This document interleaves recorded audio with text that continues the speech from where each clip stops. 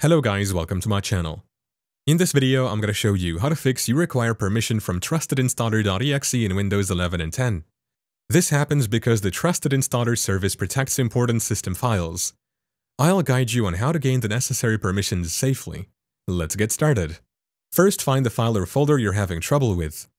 Open File Explorer and navigate to the location of the file. It's usually in the C into Windows into Servicing folder. When you see it, right-click on the Trusted Installer file and select Properties. In the Properties window, click the Security tab at the top. Here you'll see a list of user groups and permissions. Click the Advanced button at the bottom.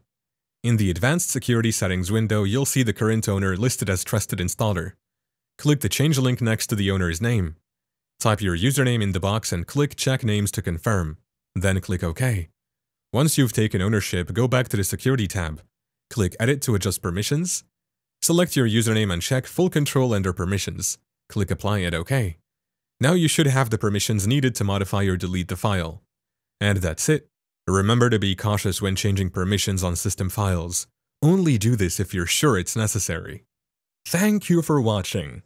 If this video was helpful, please leave a like and subscribe to my channel for more videos like this. And click on that notification bell to never miss an update.